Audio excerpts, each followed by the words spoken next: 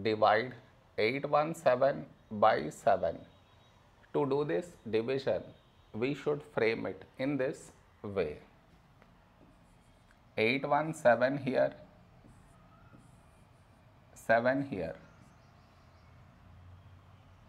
This is your step 1.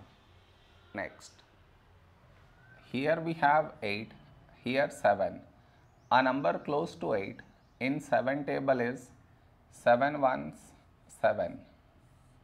Now we should subtract, we get 1. After this, bring down the beside number, so 1 down, so 11. A number close to 11 in 7 table is 7 ones 7. Now we subtract, we get 4. After this, bring down the beside number, so 7 down, so 47.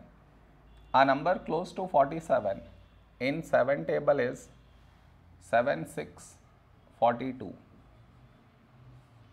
Now we subtract, we get 5.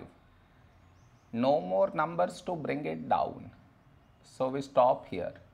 This is our remainder, this is our quotient.